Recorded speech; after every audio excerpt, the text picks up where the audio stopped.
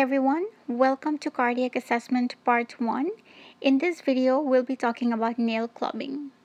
By definition, nail clubbing means deformity of the finger or toenails. So it's a condition that affects the finger and toenails that thickens and widens the nail bed, giving them an abnormally carved shape. It usually means that you have decreased amount of oxygen in the blood, indicating heart or lung disease.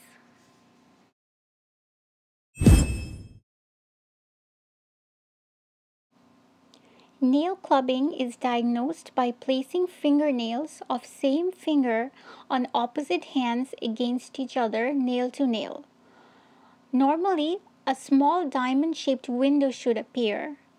If this window is not present, then the test is positive and clubbing is present. Treatment depends on the underlying disease condition, which is obtained by looking at medical history and performing a thorough physical examination.